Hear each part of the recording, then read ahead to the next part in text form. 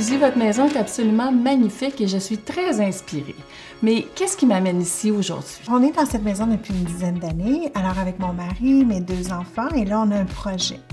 On aimerait, avec la salle à manger, refaire évidemment les couleurs, puis euh, chercher un ton de, dans les bleus au niveau, euh, tu sais, je pense, la mer, la plage. Alors, qu'est-ce que tu aurais à me suggérer? Ce que je vous propose, c'est d'utiliser la nouvelle palette parfaite de Duluxe. C'est une palette de 100 couleurs qui sont très faciles à agencer les unes avec les autres. Et euh, quand on parle de bleu, la mer, et c'est sûr que moi, ma première couleur que j'ai envie de proposer, c'est celle qui s'appelle feuille d'azalée. Et euh, on pourrait aller avec euh, comme couleur pour bien l'appuyer, le blanc qui s'appelle lune argentée, qui est un blanc très plutôt ivoire, crémeux aussi. Je vais vous montrer sur le mur. Donc, on a quand même un fort contraste avec ce que vous aviez avant.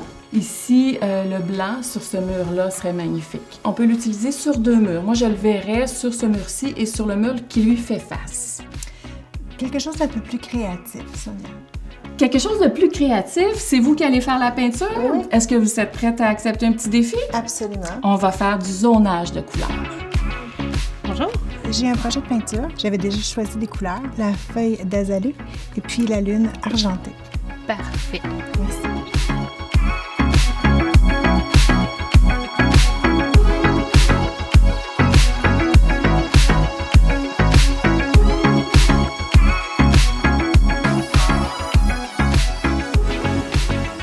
Et puis, Que dire de plus? C'est parfaitement réussi.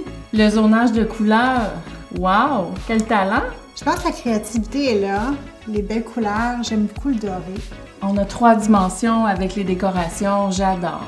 Et de l'autre côté, Alors ben moi le bleu, c'est le bleu qui me rappelle vraiment la mer et puis c'est calme, j'aime ça, c'est super doux, c'est vraiment ce que je recherchais. on pense au prochain projet maintenant? OK? Oui. On y va?